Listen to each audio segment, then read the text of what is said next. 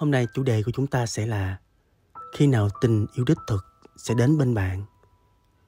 Vì đây là trải bài chung, mình hy vọng các bạn sẽ tiếp nhận trải bài một cách tích cực nhất có thể nhé các bạn. Và mình chỉ nói điều cần nói chứ không phải nói điều bạn muốn nghe. Sau đây là trải bài của các bạn.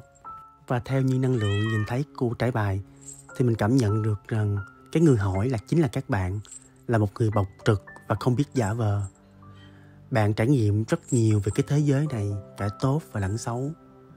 Đặc biệt là bạn đơn giản hóa mọi việc và tìm cách khéo léo đi vượt qua mọi thứ. Và bạn hay cười với tính tình thật thà, bộc trực và thẳng thắn nhất có thể. Và nếu như trong trải bài này xuất hiện là bạn phải đặt câu hỏi về tình yêu của mình là liệu bạn có hoàn toàn chân thành hay không? Và liệu bạn có nhận thấy sự hài hước trong một tình cảm là cần thiết?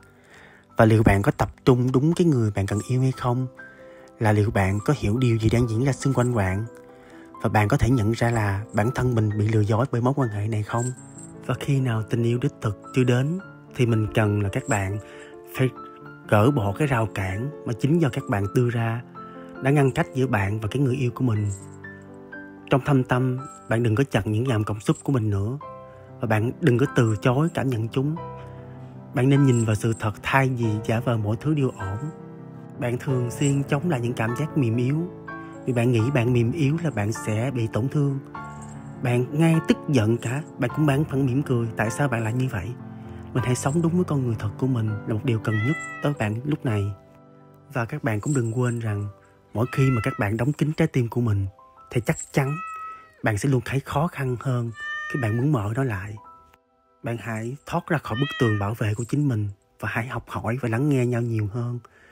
Mình mong là các bạn sẽ tìm kiếm sự bình yên và tính trọn vẹn khi các bạn đã mở lòng mình ra được. Đừng có che giấu cảm xúc của mình.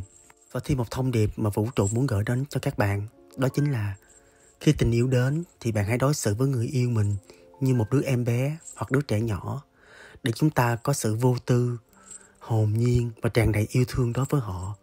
Khi bạn đối xử người yêu mình như trẻ nhỏ cái sự bao dung của bạn sẽ rất là nhiều, ngay cả khi họ có phạm lỗi lầm và bạn không bao giờ phán xét. Hay đưa ra những lời nói làm tổn thương họ.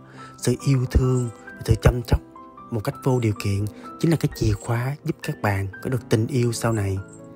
Bạn hãy nhìn lại chính mình và những gì mình đang làm để bạn có thể mở đường cho tình yêu bước vào cuộc sống của bạn. Tình yêu sẽ không từ trên trời mà rơi xuống, mà bạn cần phải nỗ lực để có được nó.